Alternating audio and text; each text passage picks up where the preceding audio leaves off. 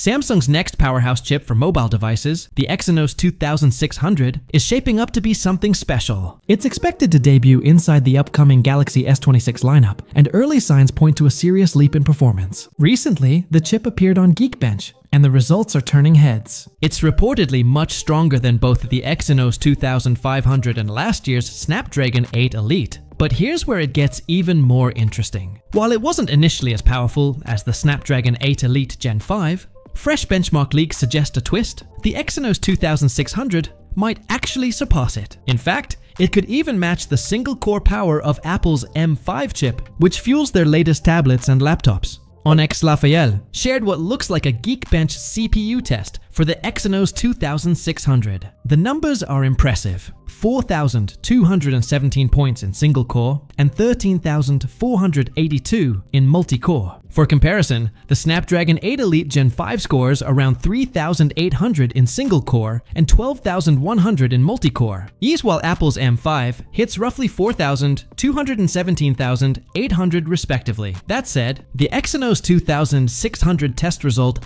isn't visible on Geekbench's public database, likely because it was done through Geekbench Corporate. So, while this leak looks exciting, it's best to take it with a grain of salt until we see official confirmation. Just when everyone thought the excitement around Samsung's next flagship couldn't grow any louder, the rumor mill is buzzing once again.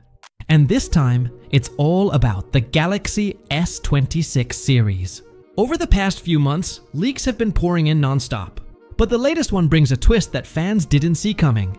A possible delay in the grand launch. According to a fresh report from South Korea's Money Today, via Jukan on X's Twitter, Samsung is now expected to host its much anticipated Unpacked event for the Galaxy S26 series on February 25th in San Francisco, California.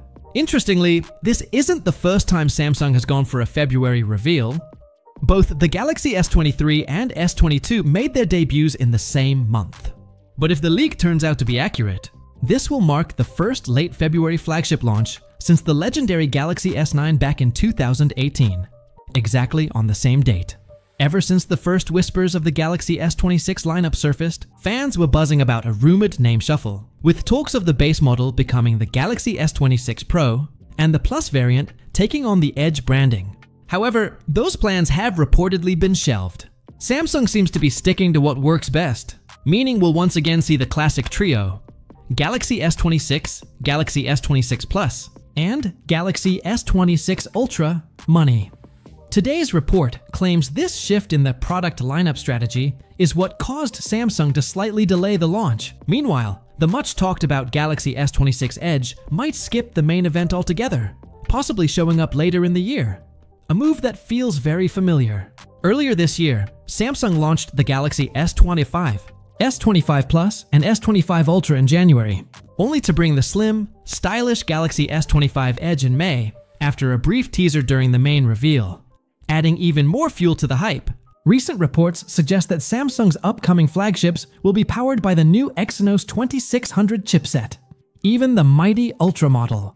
Early benchmarks for this 2nm processor look promising, though we'll have to wait a bit longer to see how it performs in real-world conditions. And just to keep the excitement high, Samsung recently teased its upgraded cameras and artificial intelligence capabilities during an earnings call. If the leaks hold true, the combination of smarter cameras, next-gen AI features, and the powerful Exynos 2600 chip could make the Galaxy S26 series one of Samsung's most ambitious flagships yet.